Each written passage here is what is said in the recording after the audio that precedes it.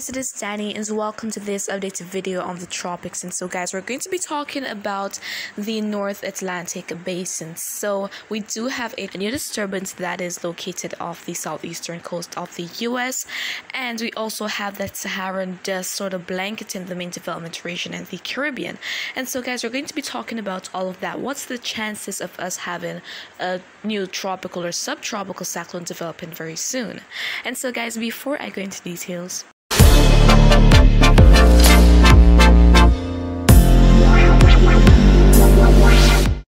Okay, and so first up, let us take a look at the general view across the North Atlantic Basin. So we're seeing here that we're not seeing much going on. We do have that frontal system uh, in the vicinity uh, just off the east coast of the US, and we do have some convection out in the Atlantic. And actually, we had a lot more yesterday, but it's all been dissipated due to the Saharan dust. And so let us go on to that Saharan dust map now.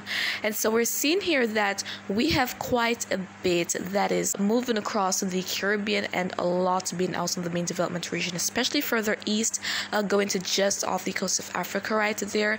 But a bit south of it, there we have that shower and thunderstorm activity. But once it moves into that unfavorable region, those conditions will be preventing any sorts of development from trying to take place here, guys. And so when we have these Saharan dust, it induces dry conditions, and tropical cyclones need moisture along with heat in order to develop and intensify. And so, with that being lacking, we're not going to be having any sort of development taking place. It is very unlikely for us to have development with such a large amount or dense amount of Saharan dust moving across the region. And so, guys, we can expect this to last um, most likely throughout this month, but maybe things can be a bit less with the dust uh, as we're going to be heading into August because usually as we approach the peak of the hurricane season, conditions generally get more and more favorable. And so, this is usually the time of year we do have the Saharan dust making its way across the region and suppressing tropical activity, guys. And so now let us actually move on to that tropical disturbance of the US. And so there we have it. So at this time, the National Hurricane Center is designating it a 20% chance of developing. So along with that frontal system that I showed you earlier, the lower end of it, the tail of it, is going to be merging off the southeastern coast probably by the end part of this week, guys. And so that is when we could have some development taking place. The Saharan dust doesn't really affect the east coast of the US. It's usually the Caribbean, most of the main development region, and the Gulf Coast, but usually some might make its way up there. But once uh, we do not have much interfering and we have some favorable shear, that is going to be helping to induce the system here to develop. Hence, its chance as of right now, guys. So, so guys, it is possible that we could have some sorts of development taking place with this system, and it's going to be meandering, so there's no set track of where it is going to go. But one thing for sure is that if it does develop, it is not expected to be a very strong tropical or subtropical cyclone. And so now, guys, let us go on and see how the wind shear is, how the ocean temperatures are, and we're also going to be taking a look at two of our models. And so, first up, let us take a look at the wind shear map. And so, we're seeing here that just off the southeastern US, we're seeing those greens and yellows, and also the reds too. Uh, the reds mean that the wind shear is unfavorable. That is what prevents tropical activity. Uh, we have the, the yellows meaning neutral, which means that it won't really affect our systems much, and then the greens mean in favorable, which means that there is really no impact on tropical cyclones that are trying to develop, guys. And so we do have a bit of favorable neutral shear uh, just off the southeastern U.S., especially in that region of uh, Florida as well as just off Georgia right there. So when we have that disturbance moving off if we're going to be having this shear staying favorable, then it is likely that we could have development of a subtropical cyclone. And again, the next name to be used for this hurricane season is Fred. And so, in terms of the ocean temperature map, so we're seeing here that uh, the warmest section right now in terms of the main development region is the Gulf of Mexico and the northwestern Caribbean. We're seeing a lot of 30 degrees right there.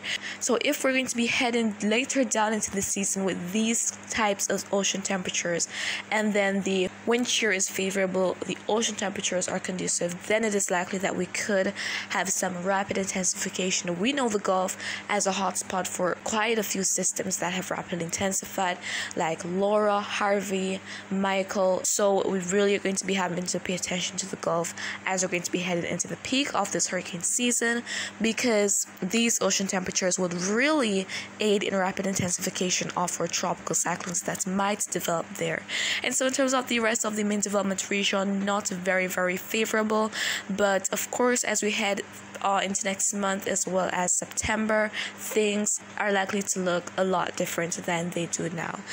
And so, guys, in terms of that disturbance, not designated as an invest just yet, uh, let us go on to the Euro and the GFS and see what they're expecting in terms of it. So, first up, let's talk about Euro. And so, this is Sunday the 25th, and there we have uh, those black lines, which are called the isobars, and they're lines of equal pressure. And so, the closer you see them in a circular manner with the pressure below 1013 millibars, that is a low pressure system and can be our tropical cyclones. And so, take a look at that just off the southeastern US. So we do have the isobars, just one, two right there coming together a bit, but that could even be a weak subtropical cyclone or depression. So fortunately, this thing here is expected to be offshore, which means that it's not really going to be affecting anywhere. And then let's take a look at what GFS is predicting. So this is Friday, the 23rd of July. And so there we have a 1060 millibar system, not really a low pressure system at that point. And then as we go further down to Saturday, we see that we have a 1012 millibar low, but we're not seeing much organization. We're not seeing the isobars really coming together. And so, guys, we really have to wait and see what, what the outcome is going to be for the system. Again, it is a newly identified disturbance, and that low pressure area has not yet even emerged off the US. So, we have to wait and see what's going to be happening.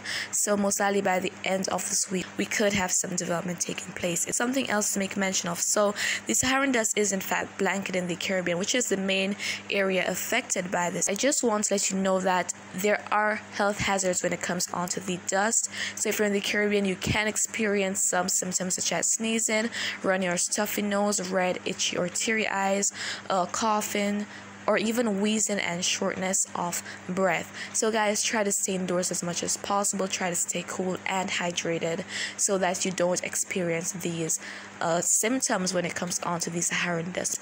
And so, guys, that is really it for this updated video on the tropics. Again, we do have the Saharan dust mainly blanketing the main development region, suppressing activity by preventing any sorts of convection or inhibiting moisture. And then we also have that disturbance of the southeastern coast of the US US at this time given a low chance of development. But once favorable conditions are going to be persistent, we are definitely going to be having the chance rising for us to have development. That is it for this update. And if you found it to be quite informative, please give a thumbs up and you can also share your thoughts with the comments or ask a question.